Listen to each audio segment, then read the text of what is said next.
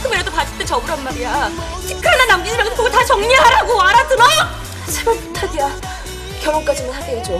안 그러면 나 무슨 짓을 저지를지도 몰라. 임 변호사 인생 여기서 끝내고 싶지 않으면 다시는 태광그룹에 발디를 생각하지 말아요. 그만두겠다는 얘기야? 찾아뵈야지.